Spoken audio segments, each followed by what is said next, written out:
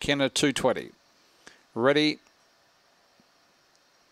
Racing, Kenner came out only fairly, showing early speed was Waggers. Driving across was Black Ziggy and also Kenner from out wide, then followed by Sprightly Sash, Triple Crown Blues well back, and Groovy Gravy at the rear on the home corner. Up on the inside, three uh, out wide on the track, Black Ziggy, also Waggers. They go to the line. Waggers just wins from Black Ziggy. Third is very tight, Triple Crown Blue, Sprightly Sash or Kenner in a photo, then followed by Groovy Gravy, who was one of the last in.